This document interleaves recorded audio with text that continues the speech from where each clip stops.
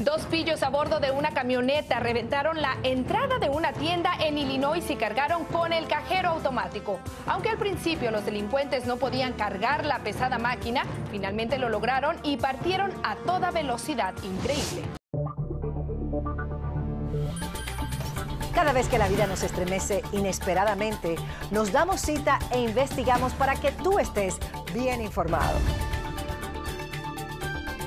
En el Rojo Vivo estamos conectados con nuestra comunidad, con sus necesidades y sus urgencias. A las 4, 3 Centro. Somos tu primer frente de información.